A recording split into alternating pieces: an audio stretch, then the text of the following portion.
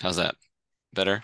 Perfect. Okay, my presenter view then is on this screen, so I apologize if it looks like I'm ignoring all of you. Uh, so we're going to talk about neurogenic bladder, vejiga neurogena, or also known as neurogénica, depending on, you know, what country you're in, basically. But um, both words work. Vejiga is bladder. Neurogena is neurogenic. Um, so that's what we're going to talk about. We're specifically in spinal cord injury, uh, is what we're going to discuss. So um, I um, have mixed Spanish kind of throughout. I haven't done one of these lectures for you all before, so it's kind of just interspersed. It's not not every slide will have it. Some slides will have more than others. Some slides will be only Spanish. So we'll see how it goes. Um, but basically, we're going to try and and what I really want you to get out of this lecture is to learn about neurogenic bladder and maybe one or two Spanish words if you get them. All right. So it, there's some English vocabulary.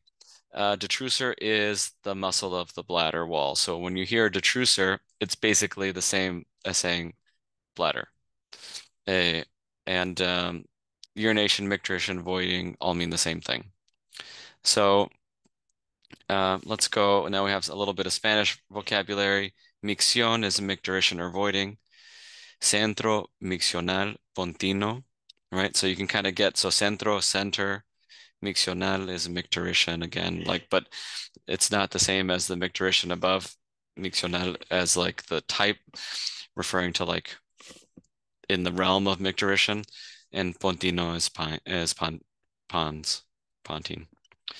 Uh, médula espinal is the spinal cord itself. Uh, esfínter, sphincter.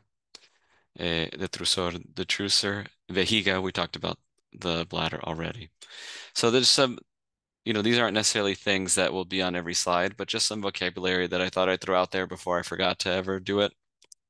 Um, so um, I'm happy to go through pronunciations if that's helpful for anyone. If anybody has questions about how to use any of these in a sentence or what any of these things are, like, does everybody know what the Pontine Micturition Center is or what the spinal cord is? There's no silly questions here. Okay. I can't say I've heard a lot about the Pontine Micturition Center.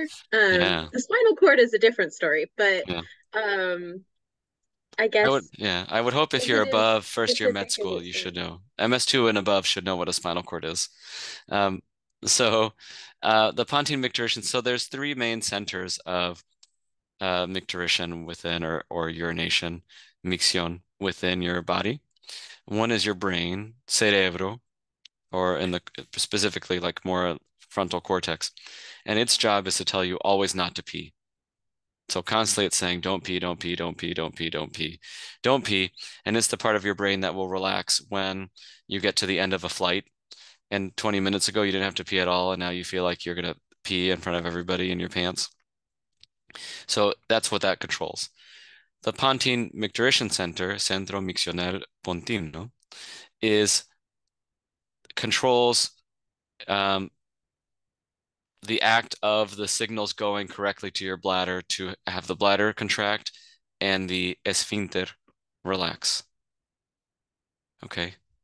So vejiga contract, esfínter relax. And so the pons is what controls that.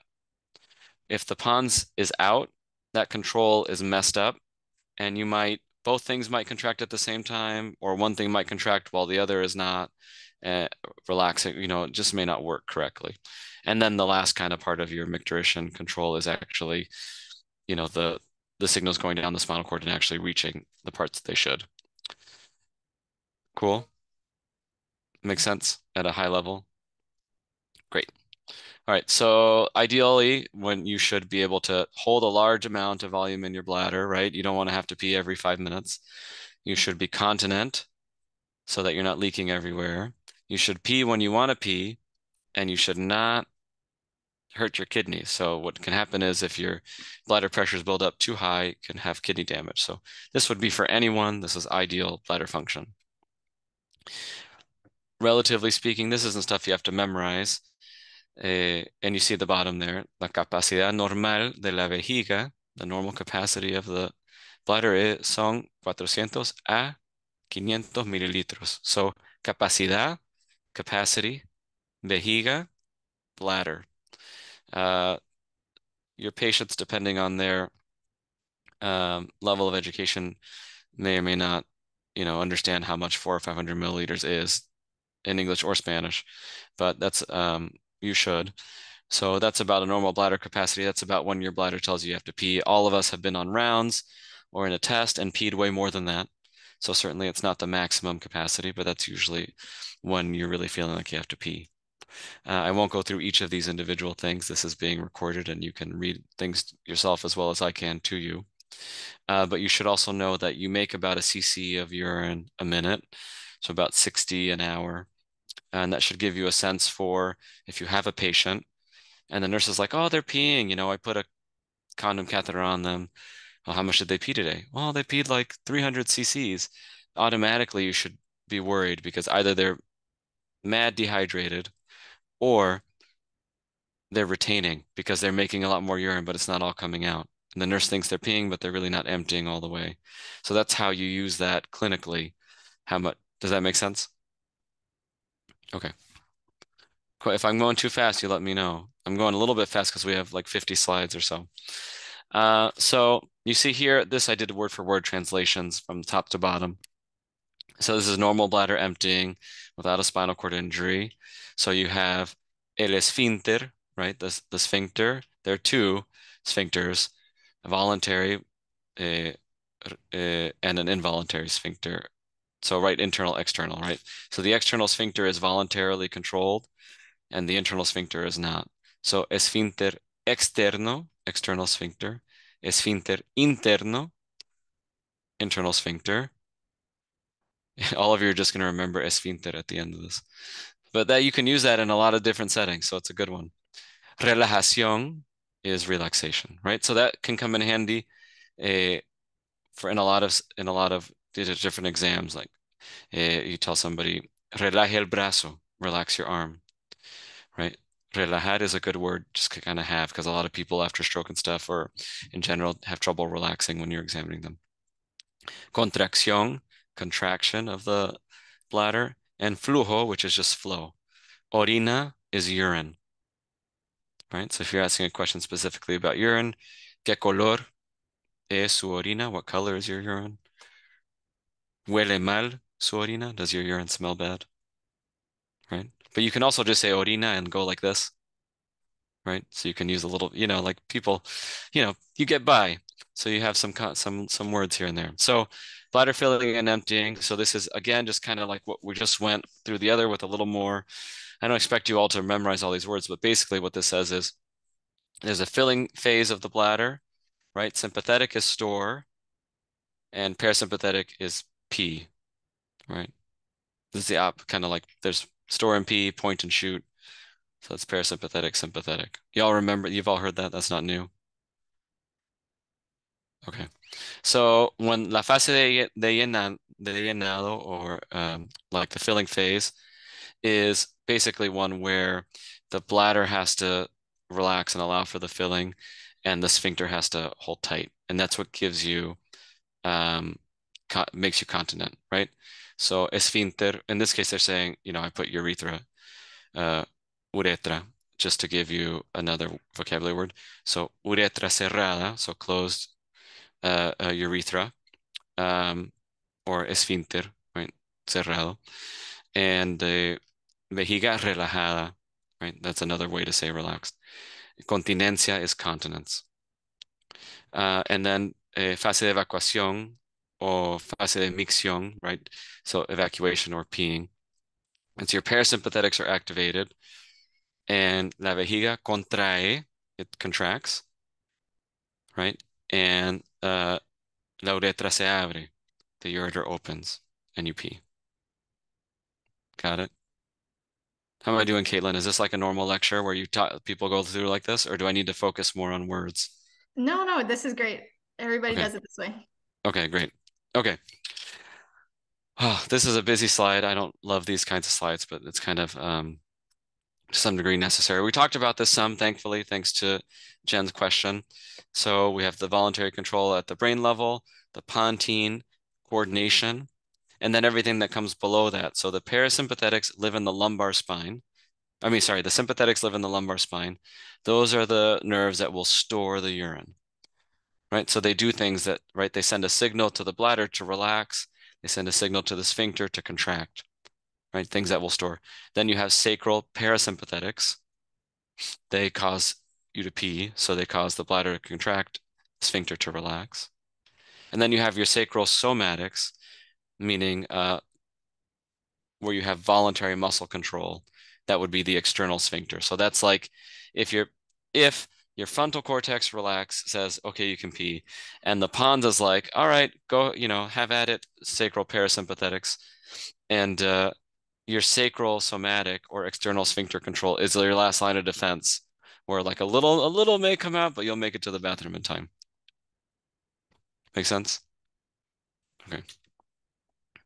All right so we're going to talk about different lesions and, and how they actually present. So you can have a lesion uh, basically above the pons the blue line is the pons right so say you have a lesion in the brain the pons is still there, right? So the pons can control the normal uh, contraction, relaxation of the bladder with what needs to happen uh, with the sphincter, right? So basically what you get is incontinence.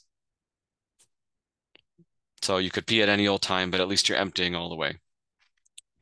Um, if you get a lesion at the level of the pons or like below the level of the pons, but within the spinal cord itself, right? So you so like above the conus medullaris or above the cauda equina, then what you get is that discoordination we were talking about where the pons can't control anything.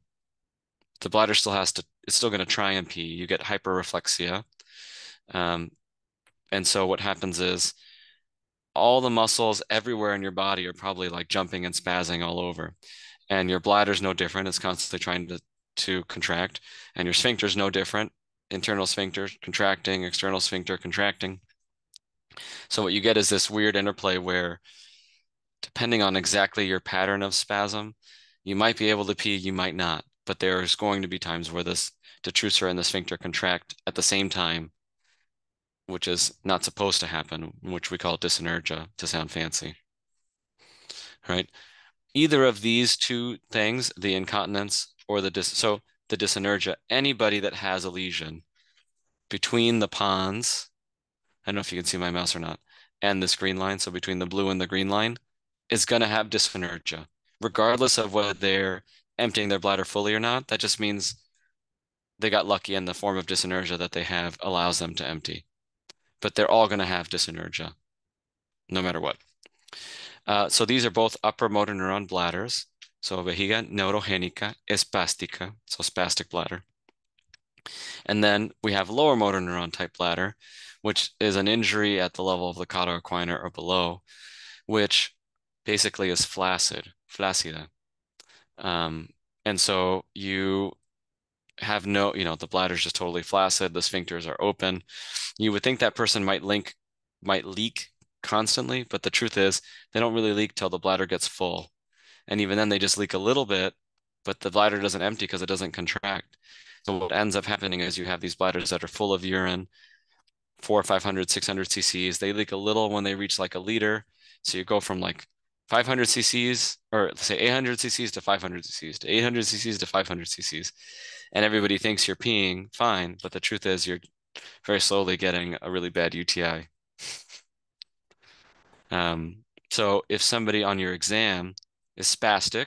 They have a lot of hyperreflexia, you can expect one of the two bladders on top, vejiga spastica.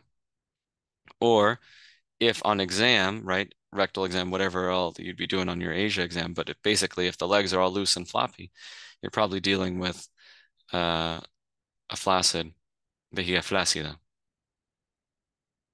Cool. And we we have to know the difference because we manage them different ways. Okay. So this is basically the same thing that we just talked about in a different way.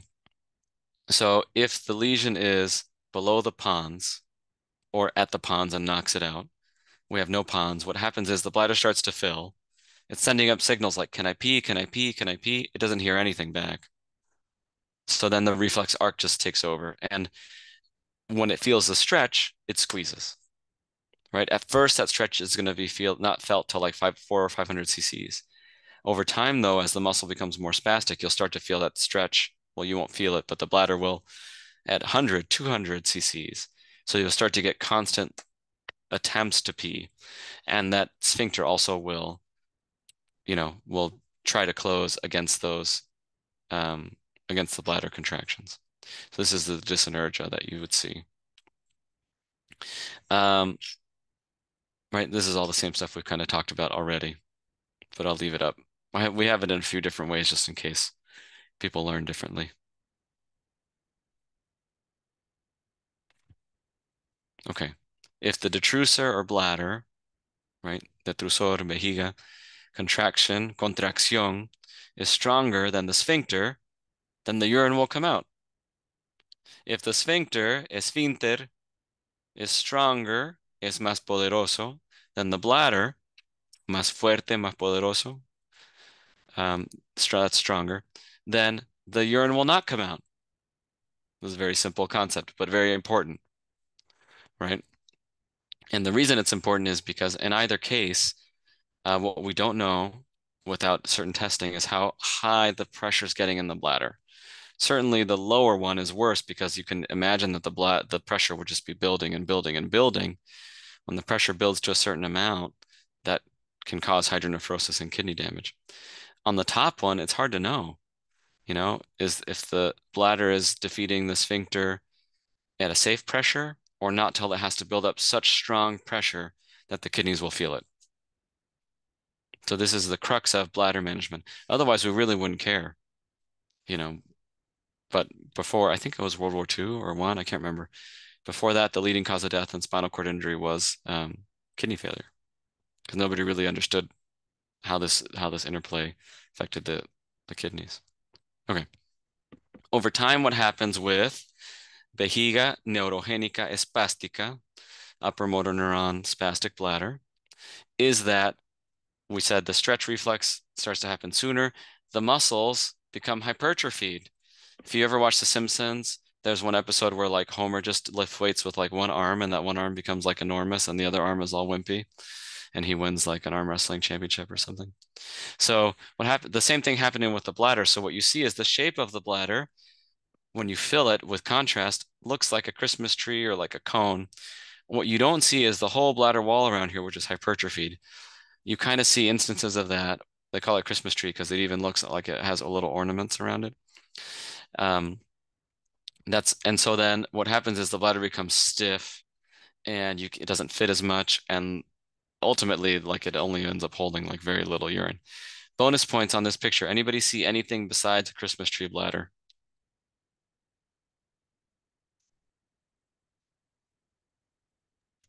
Is there a missing ureter? Uh, well, I don't know if it's missing as much as this one, because you really don't want contrast going up to the ureters at all. Right. So what you're seeing is some kind of issue here where you're getting hydronephrosis, probably some some kind of flow back up into the into the ureters or hydro, I guess hydroureter. You know, you can kind of start to make out the kidney here. So that's what you see here. So yeah, technically you were correct, but I would just phrase it differently. All right, this is another example of a nice thick-walled bladder. Okay, so uh, so here's the ureter, ureter, right? Dilated ureter. And the way that the kidneys and the like the ureters work into the bladder is it's like a it's like a nice calm stream, a stream that you would meditate next to, right? That's the flow. It's a low pressure system. So a lot of times we think that the what happens is there's like retrograde flow or um, reflux back into the ureters from the bladder, but that's actually not the case. What happens is when the pressure builds too high in the bladder, it obstructs the flow from the ureter. So it's like putting a dam there. And that's what causes the hydroureter and ultimately the hydronephrosis. Okay, so kidney is riñón, uh, hydronephrosis, hydronephrosis, and renal failure insuficiencia or insufficiency renal. So here, this is the hydronephrosis. All this is dark stuff is is contrast or water, urine. That's not how your kidney should look. All this would be relatively small, should be small relative to the the calyces should be small relative to the kidney, but in this case they're gigantic. So this is a complication of um, of uh, untreated, right, or poorly treated upper motor neuron bladder.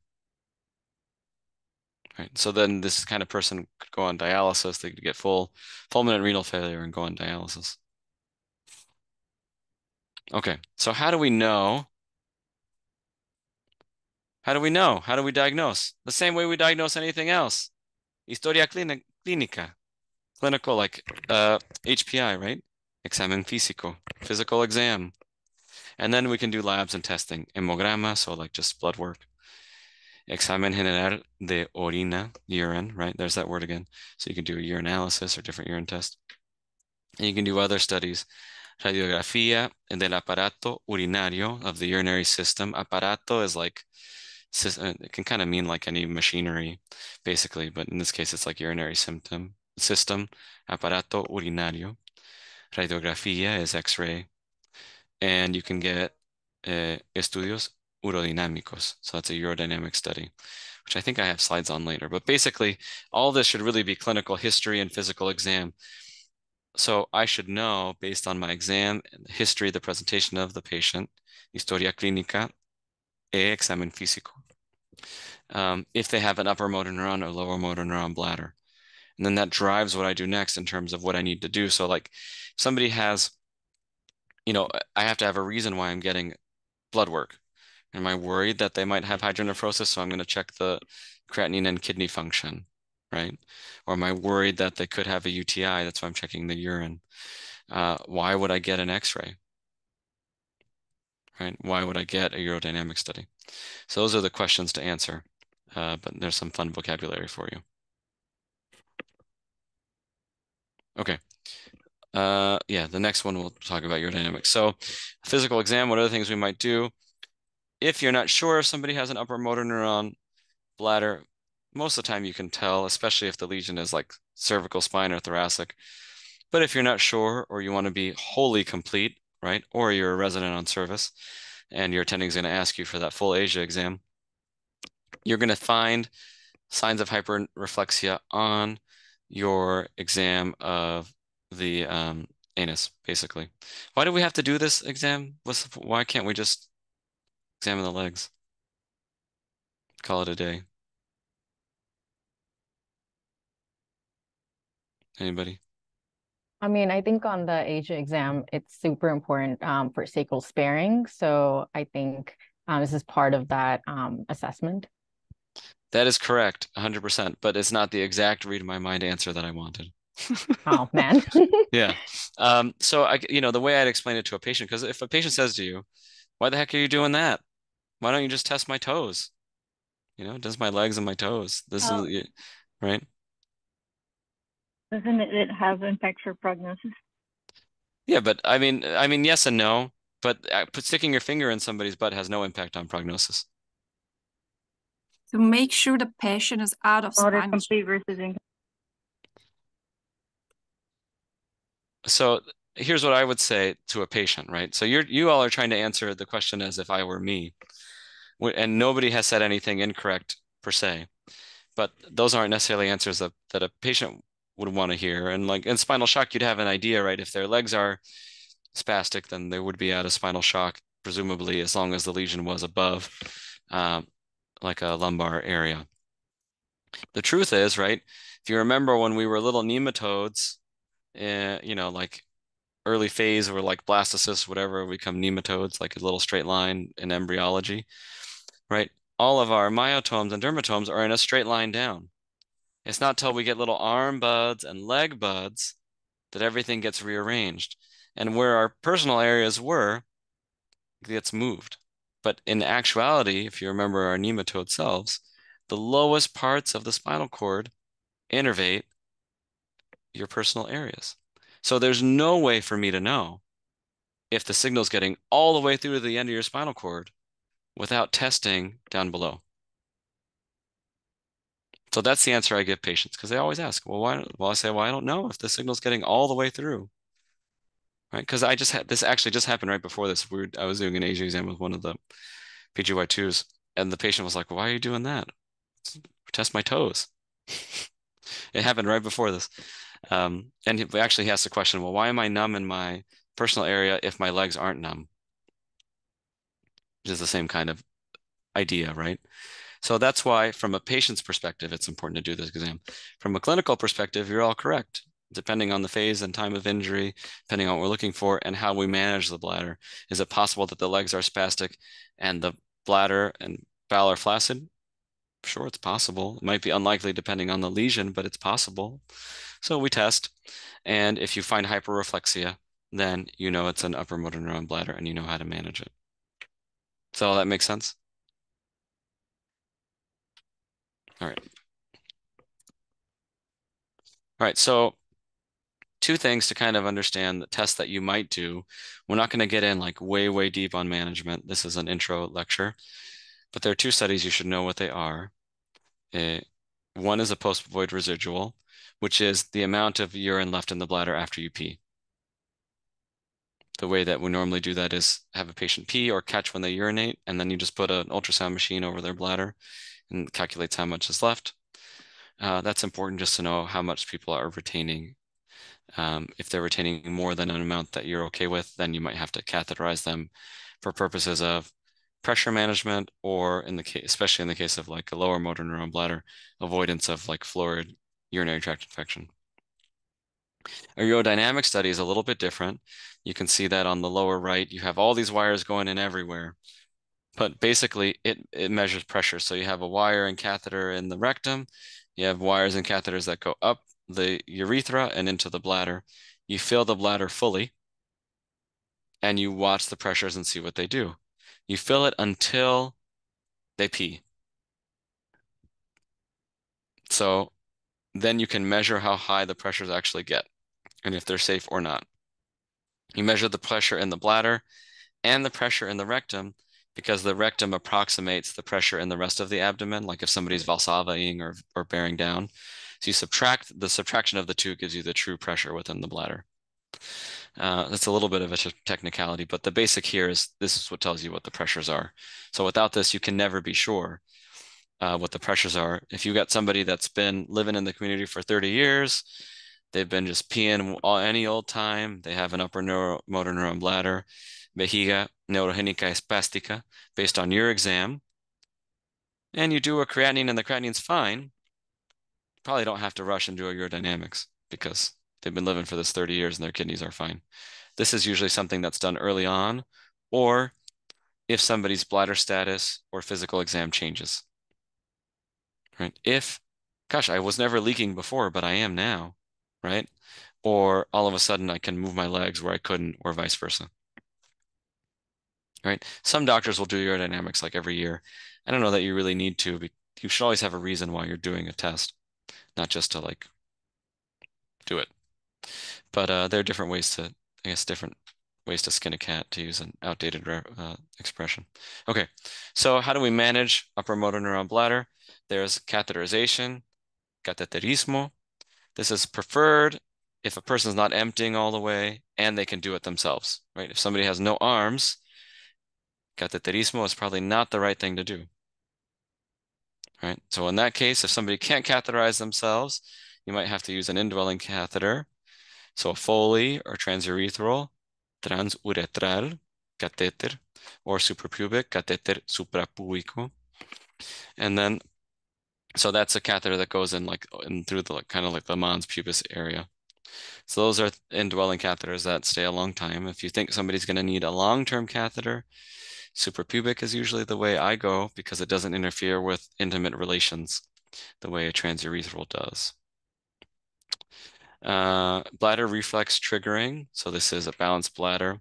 This basically is like if you can get someone, even though they have no control, if you can get the detrusor sphincter dyssynergia, maybe with some help of medications just right, so that they're actually emptying their bladder fully or enough that it's safe, even if they're you're basically making them incontinent. And then you can just put a condom catheter on them and let them go on their way. You can also sometimes trigger, have a patient trigger the bladder reflex by tapping. There's some maneuvers we'll go over. Um, I have the Spanish names for them for them a little later as well. Does this make sense so far?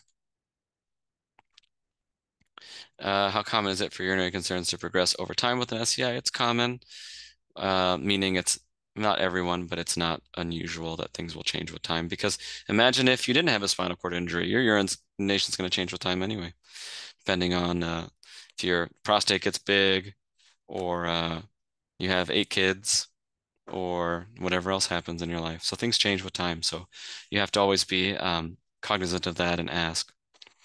Things can change just from cathing over and over. You might get a stricture in the in the urethra or like scarring that can change things. So, all right, this is a little bit of a busy slide, but just to give you an idea, basically over time, more people as they get older, 30 years out from spinal cord injury, tend to prefer or lean or have an indwelling catheter. I don't actually know, you know, this is just a slide in and of itself. You see it, we a lot of people seem to have either been lost to follow-up or passed away. But you can see at first, most people are doing it intermittent cath. So if, even if we go break down by like percent, right? By percent, slowly becomes more indwelling. So take that for what it's worth. Um, maybe people get arthritis in their hands over time. Maybe they gain a lot of weight and they can't see or reach, um, or something else happens. They get lazy. So, um, external catheterization. So let's say our goal for someone, say they have high level tetraplegia. They cannot move their hands, so they cannot catheterize. We want to try and avoid a Foley if we can, because it's, you know, that increases the risk of bladder cancer, increases the risk of infection. So we want to, we, our goal will be incontinence, which sometimes is called balanced bladder or reflex voiding. So it's hard in a woman to do that unless you're okay having them be wet in a diaper. Uh, so a lot of the discussion is usually around men. So A, whether or not a condom catheter will fit or stay on is important. Uh, B, you want to make sure that the post-void residuals or the amount of urine that's in the bladder at any given time is 200 or less. That's relatively like 9 out of 10 times going to be safe bladder pressures. But when you get the chance, you do the urodynamics, and as long as the bladder pressure is under 40, when they're reflex voiding or when they start to pee, then you're okay. And dysreflexia, which, you know, I, I think it's fine. Like if you have really bad dysreflexia that is like persistent throughout because you're of your bladder, that's a problem. But if it's like when you go pee, it's like 10 seconds of dysreflexia, that's probably not a problem. So there's some practical um, way that you apply your knowledge there. Um, am I losing anyone? Are we good? I know we've had a few slides without Spanish, but there'll be Spanish coming up again. Good? Okay. So external catheter management. So if, what do we do? Like if somebody's retaining a little too much, but we want them to pee, want them to pee more. So you might use medication to relax the sphincter, right? Esfínter. Relajar el esfínter. So you can use the different medicines, um, like Flomax is an example of an alpha adrenergic uh, anti-alpha medication. And you can use that, you can relax the sphincter, and hopefully that will allow that bladder to contract without the sphincter in the way. And hopefully then you can get under into safe pressures or into safe amounts of urinary retention. Right, so we do different things. Sometimes people have surgeries, sphincterotomies, different things to achieve this too. Uh, goal. So whose goal might be somebody to actually have an indwelling catheter? Um, so people that you can't quite figure out, like they have high, you can't, like the Flomax doesn't work, or um, you can't quite figure like you can't get them to just do intermittent cath. They're constantly leaking in between. You can't keep them dry. Um, maybe women with high tetraplegia and they don't want to be wet on a diaper all the time. So those would be people that you put an indwelling catheter in. People that are like have a really high like BMI and they're apple shaped, they can't reach. Um, sometimes you might need an indwelling catheter. Um, so also like if you if you're a woman, you might be more likely to get a suprapubic because it's easier to manage, right? Imagine like your home care nurse or attendant, like a penis is kind of easier to get to and like change out a catheter than a urethra in a woman. Like sometimes it's like depending on the anatomy, size of the person, it's not easy to get to. So that suprapubic can just be easy to change and exchange. Um, so that's sometimes something you consider depending on the person. Um, so eh, uh, that so we can say like tetraplegia. So it's the same, just pronounced differently. Tetraplegia, paraplegia. Um, who can perform intermittent cath? People that have hands and need it, right? You know, e even people sometimes with very low tetraplegia that have a little bit of finger but not full finger control can get this done. The consideration here is though, can you do it in a chair? If you can't do it in a chair, right? You see this person in the chair at the bottom left, like they had to pull their pants in on their own, they had to adjust their body on their own, and they have to like angle the thing into the toilet or into a bag, and then they have to be able to pull their pants up. So from a practical perspective, you really have to have paraplegia if you want to do intermittent cath and live your life on your own without needing like a home attendant or having to get back in bed to perform the catheterization. Does that make sense? Okay. Uh, I mean, what's the goal? If somebody's catheterizing, I mean, the, the take home really here should be what goes in must come out, right? So if you go to the movies and you have a giant soda, you're going to pee an extra one or two times. So the same is true for somebody with has a spinal cord injury. So depending on how much they drink, you might have to do more cathing. If you don't want to cath more than four times a day, then don't drink more than like a liter and a half to two liters. And, you know, limit the caffeine. Questions so far? Cateterismo, that's catheterizations. Okay, so I promise there's a little bit of Spanish coming up again, but I just want to, like, these are important slides, so I just want to make sure that we hit them and like really got the knowledge. So what if they're still leaking between catheterizations? So we want someone to be catheterizing. And so we don't want them to leak in between because what's the point of catheterizing? You have paraplegia, you want to catheterize. What's the point of catheterizing if you're just going to be wet in between? Right, so there are two types of meds we can use. Anticholinergic, right? That would be something like a ditropan, also known as oxybutynin, or beta agonists. That's uh, mirabegron, also known as myrbetriq. They each have side effects. Anticholinergic meds can dehydrate you, can make your poop hard, can have cognitive side effects. Uh, beta uh, agonists can increase your blood pressure and your heart rate. So those would be things to consider, but generally well tolerated and uh, might help you, might help that bladder relax. This is the opposite, right? We want this for the detrusor sphincter dyssynergia.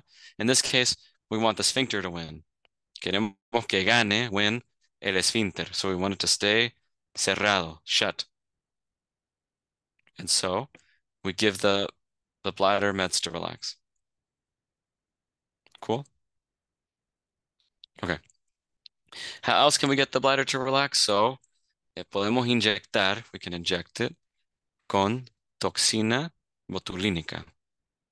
So botulinum toxin, you can use Botox into the bladder.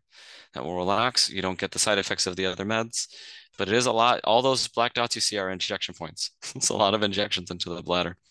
So we have had patients get like dysreflexic while they're getting the the uh, injections. I've had some of the urologists will actually like kind of wash out with a lidocaine, like a liquid lidocaine, so people are a little bit numb when they do it. Um, they're all surgeries you can do. You can take part of the colon and like make the bladder bigger. These are gigantic surgeries. Uh, I would never do them unless if there's like no other option. They have, when they go well, they go well. But I've had several like people I inherited that have had a lot of I mean, it's like it's like a gastric bypass, or like you know, you're like cutting part of the intestine out, reanastomosing it, and then like cutting the bladder open and reanastomosing it with intestine. There's a lot that can go wrong, and when it does go wrong, it's not pretty. When it works, it works great though. Okay, so um, we'll just quickly run through this. The appropriate bladder management for different levels of spinal cord injury. So, vejiga bladder right? ¿Cómo manejamos? How do we manage? How do we drive la vejiga? Uh, so who who gets an indwelling catheter? Very high people with very high level tetraplegia, if they're not a candidate for a condom catheter, right? Because that means the people that have no hand function, assuming you can't get them to leak fully on their own. Who can start to catheterize? Uh, people that are start to have more hand function, again, we have to think about this in the context of what is actually practical in somebody's life. And here you see what's called a Mitrofanoff, which is a bladder augmentation, and then they take the appendix and that's the bottom picture here. They take the appendix and like put it against the, usually they hide it in like the belly button with a continent stoma and you can catheterize through that. That might be a way around, but again, that's a big surgery. Uh, it's not little.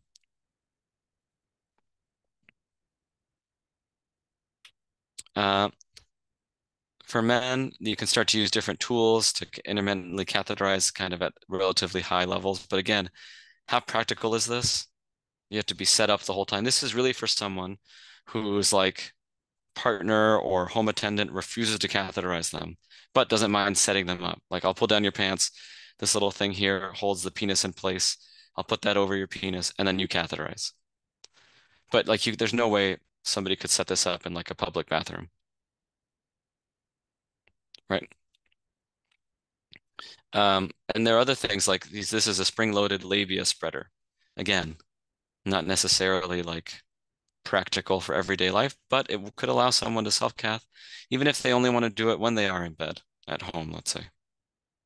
Because if you think about it, right, depending on your anatomy, if you're a woman, you might have to, you have to spread, you have to get in the right position, you have to spread the labia, and so that takes two hands. You got to like, and then you have to like finesse with the catheter. If you're if you're a man and you can get the penis to stay still, you can use two hands like this, hold the catheter, and just pull it back. You don't have the luxury of doing that. If you're a woman, even the labia spreader is not perfect. It's like there's not a lot of room and stuff, but it exists and intermittent cath people that have now hand and finger function. Okay, now let's talk about vejiga flácida, vejiga neurogénica flácida, flaccid bladder. So again, this is a bladder that has no reflexes. Generally, you're just, this is just like intermittent catheterization. You can sometimes use an indwelling catheter, but you run the risk because the sphincter, el esfínter, is so relajado, so relaxed, that you can get leakage around the Foley, or if you have a suprapubic, you can still get leakage through the urethra. So a lot of times the answer here is intermittent cath, even if you're not leaking, before you leak. So maybe every four to six hours, even though you could go longer. Sometimes you can build up the urethra with um, some injections to like bulk it, things like that, that are more permanent. Um, it's kind of this is just an, remember the where the anatomy is. What would lead to lower motor neuron bladder? It's cauda equina, potentially conus, depending on the injury there.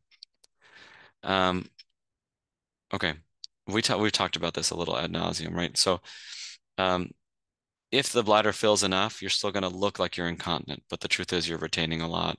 If you turn, if you have valsalva or whatever, you'll have a little leakage, but it may not be enough to fully empty.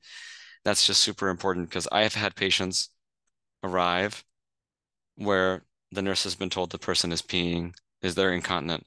We bladder scan them and there's a liter in there. And we catheterize them for the worst smelling urine you've ever smelled in your life. So it's important to kind of have that index of suspicion when you take your physical exam, examen físico, clinical history, historia clínica, and you adapt that to what you're seeing in front of you. All right, so areflexia, all these things we kind of talked about. And should should not be necessarily new, but signs that are lower motor neuron bladder are signs that you're areflexic. Sometimes you might even feel the bladder, like in a case I just the case I just shared with you. High posterior residual, that's what we're talking about. Well, how do you get a lower motor neuron bladder to empty? You can strain, that's called a Valsalva. Maneuver is maniobra de Valsalva. Or you can do a crede, which is tapping on the like mons pubis area or or or kind of pushing there. That's called maniobra de crede. Uh, you can intermittent catheterization. You can do intermittent catheterization, cateterismo, or you can use an indwelling catheter, catheter, um, and then depending on if you want suprapubic or transurethral. Did I lose anybody? I feel like I started going fast. No. I just kind of keep an eye on the clock. Um, so goals for lower motor neuron bladder, we just want to keep the bladder empty. We want to be continent in between. Same goals as with upper motor neuron. Uh, what else can we do? You can have like this continent cuff sphincter. It's the mechanism is the same as like what some men get for a erectile dysfunction, but instead it's this is just um, tightens around the urethra. This has fallen super out of favor because over time the urethras were just like um, kind of dying, and so they would break apart, and then you would have no urethra, and you were in a worse worse place for sure. So um, let me just skip a couple of these, I think. Let's go here. So for women, there are different procedures you can do. I hinted at the urethral bulking, right? If you need that for catheterizing and somebody's leaking too much, or you can do what's called a sling procedure, which is actually common in, in women in general um, if they have uh, incontinence later in life. We talked about this. Okay, let's go here. This, this is an important slide. So there are risks to different um, um, manage like different ways that you manage bladder. UTI, the lowest risk is actually uh, intermittent cath. I mean, if somebody's external to cath and they're actually emptying, like it depends. The external cath can can cause UTI when you're like there's always like urine there right so you've seen patients there's like you see the cath and there's like just urine like all around the penis uh, but if you keep it clean and somebody's sitting up and there's not much there then external cath can be better than inter intermittent cath. Then then you have the indwelling. So indwelling is the worst doesn't matter which kind. Urethral erosions again indwelling is the worst. Obviously suprapubic and these other things won't cause urethral erosions. Um, bladder cancer, indwelling catheter again, and bladder stones, indwelling catheter. So you see there's a lot of risks to indwelling catheters relative to the other things. So when we can, we try and avoid the indwelling catheters. Um, it's just a cool little slide to have so you can see like what do you do when um, and when do you check for things, right? So I usually will do a renal bladder ultrasound every year or so if somebody, especially if somebody has an upper motor neuron bladder. You can see urodynamics doesn't have, right? It's just kind of like when you think somebody needs based on your clinical exam. Cystoscopy, primarily, that's primarily for people that have indwelling catheters, cystoscopy and cytology. So those are every five years. All right, that's what I got. I know there was a lot of Spanish, like upfront Spanish, but um, I didn't want to get too technical with all the Spanish terms. I can go back to any of those slides if we want to review that stuff or if there are questions. No, that was great. Thank you so much, Dr. Escalon. Um, we have a few minutes until um, it's, you know, the time is up, but feel free to ask any um, questions that you have.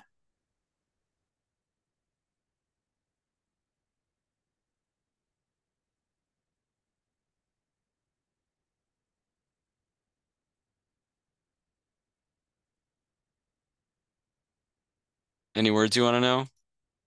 Oh, is there something in the chat? Does Botox that is used in the bladder have the same span as Botox used? Um, it depends. I've had patients say that the bladder Botox lasts a bit longer. I would say my expectation of the Botox in the bladder is that it'll last longer than the Botox that you might use to treat spasms in like an arm or leg. Um, so I usually assume it should last about six months, but for some people it lasts three or they last a little less over time when they like on um, repeat treatments.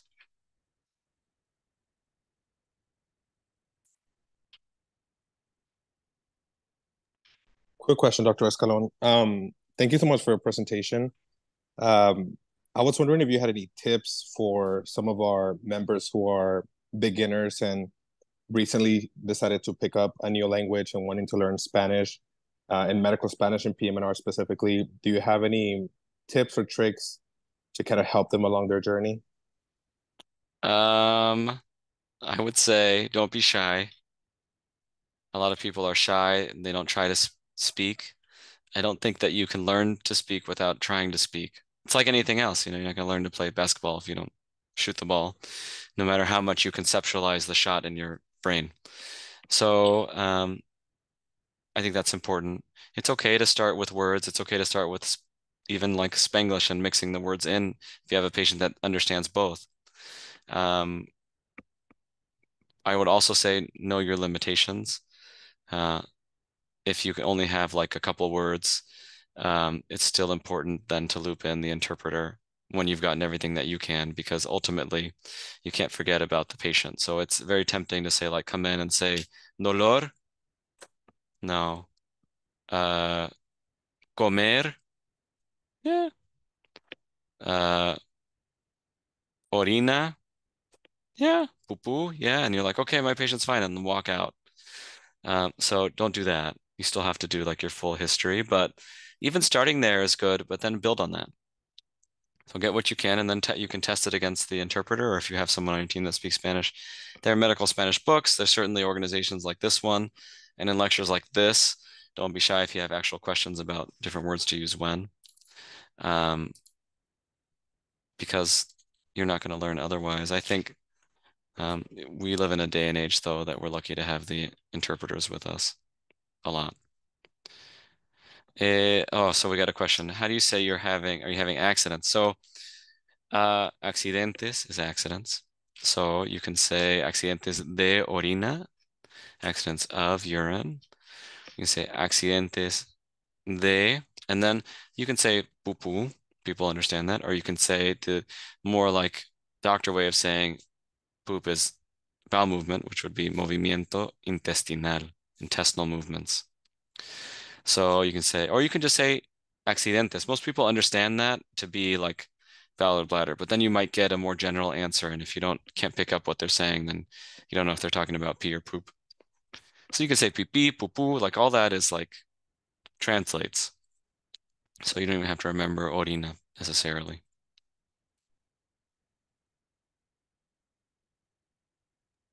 I think we might have time for one more question. But if not, before you head out, please fill out the um, Google form that I put in the chat. Thanks so much.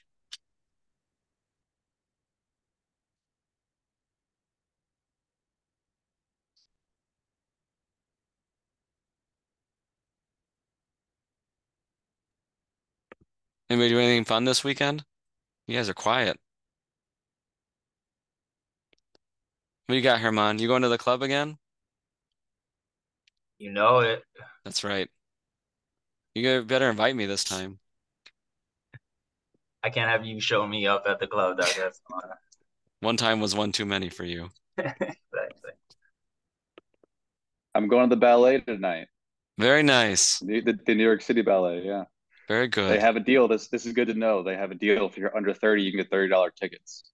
Oh, you pay your age? So, I uh, 30 is the flat line. I wish. do they check your ID? They do, so that you can oh, only get the ticket at the box office. I know. You you you you would probably pass Dr. Escalon. I put a little makeup on. I'll make it through.